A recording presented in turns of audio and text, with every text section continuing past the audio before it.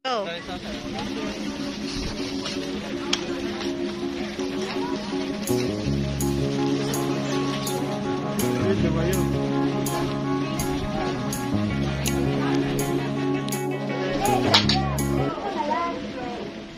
Hello po sa inyo. Good evening po sa lahat. So, magbibideo ako for this day.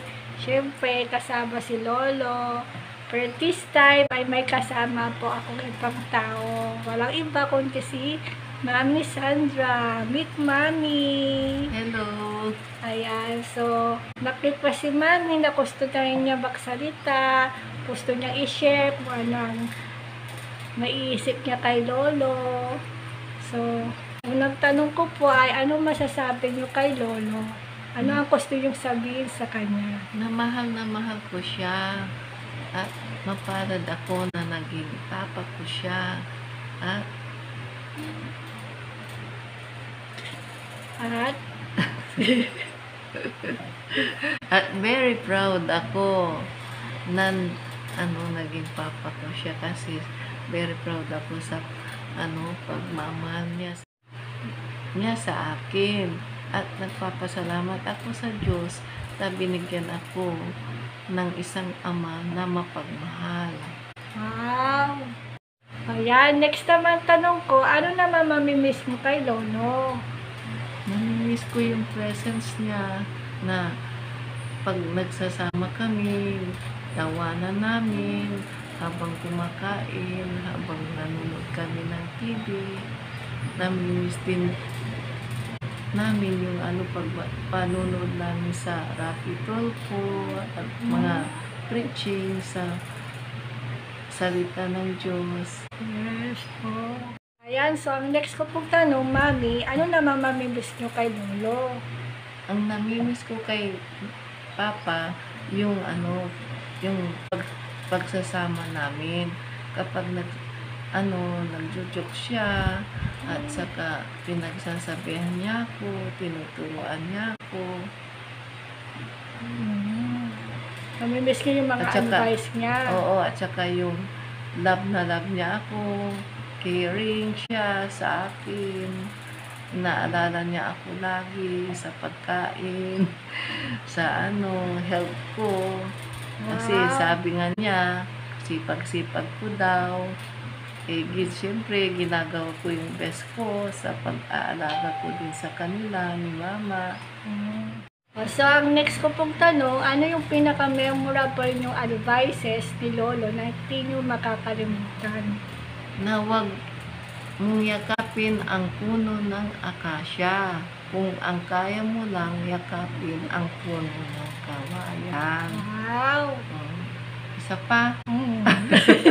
Isa pa.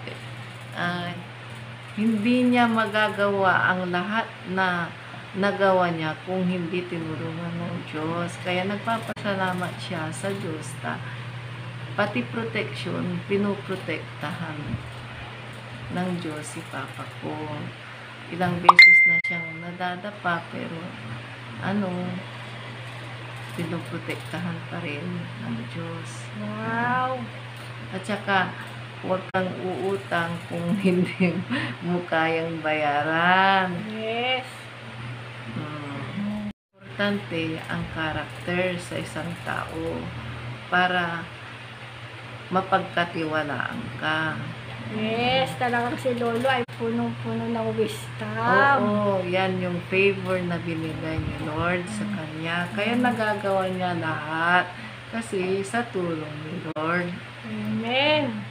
This is it na po. This is your opportunity na po, nanay, na kung ano ang gusto nyong sabihin sa mga tao na comfort sa atin during kay Lolo.